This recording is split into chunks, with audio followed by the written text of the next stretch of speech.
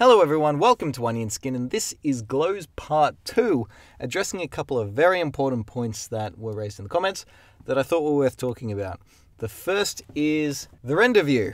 I forgot to mention before that glows and many other effects are only viewable uh, in the render mode, which is the blue flower down here. When you go to the OpenGL view, effects and glows and things just can't be seen.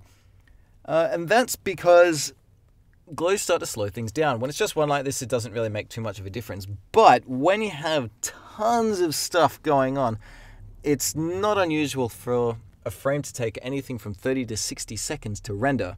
So if you're animating and it's taking a whole minute to register every single paint stroke you do, that's a pain.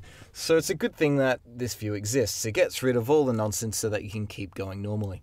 Now say you're working on a really big file and there's so many effects going on that even this view starts to slow down, which can happen.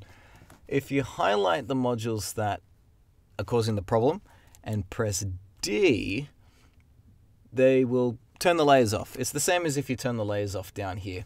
Everything that's not visible will not take up any processing power or any memory, and it will speed the program up as well. The other thing I wanted to talk about is animating effects. How do we control them? Uh, most notably, how can we animate a glow uh, turning off and on, gradually fading on and off? Down here, you can see that every module you put in is represented on layers as well. And you can use this as a form of navigation. So say if I touch on this drawing layer here, notice it highlights up here. If I touch on the glow, it'll highlight down there.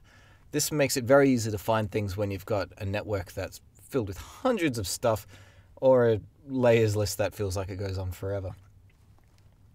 Now here notice that each layer has a little plus symbol on it. If I open that up, it will show all the parameters that are available in that kind of layer. You can see a glow will have you know, directions and color values, whereas a drawing layer will have uh, position properties.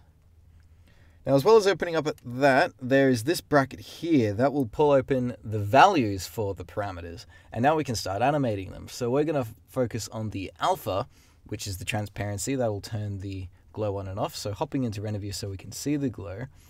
Select on the first frame and there's this plus symbol here that will put a keyframe on just this one parameter, just on the um, just on the alpha. We'll put another one at the end, hit the plus, and drag it all the way down to zero. And we can see that the glow is now off. Uh, because that's across two keyframes, it has created a motion path, and you can see it is indeed gradually animating off.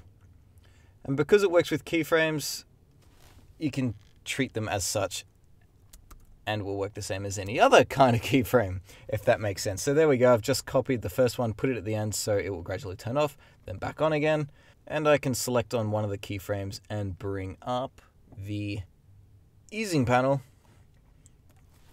and I'll do what I've done in previous videos and just, oops,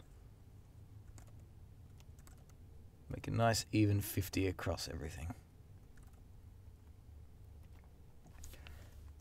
And that will give it a slow fade off and a slow fade on. So yeah, animating glows. Quite well hidden underneath all those buttons, but you can see it's quite easy to pull off. Good luck and have some fun. Bye bye!